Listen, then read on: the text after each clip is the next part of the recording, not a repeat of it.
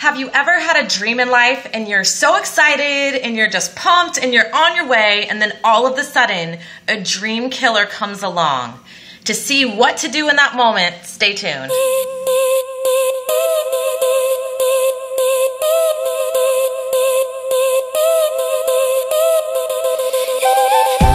So here's the thing when you have a big dream in life, Dream killers are going to exist. There's just no way around it, unfortunately. So you have to be armed and ready to deal with the dream killers. Now, dream killers can come in different forms. They, of course, they can be your family and friends, which you take such offense to when they don't understand your dream. Why? Well, one, you care about them.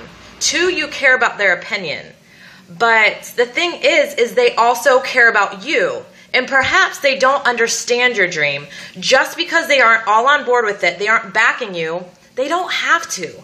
Because it's your dream, it's not theirs. They haven't been on your journey, they don't understand your experiences, and they don't understand what has birthed this dream inside of you.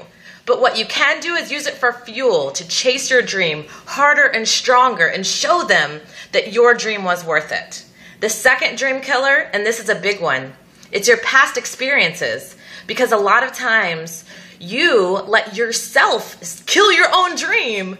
You know how it goes. Those thoughts in your head, those demons on your shoulder that you're not good enough, that you're not qualified, that you'll never make it, that you should give up. Now that you know that's a dream killer, be ready. When you hear those words, combat them. Tell them the truth because the truth is, guess what? You are capable and you are good enough.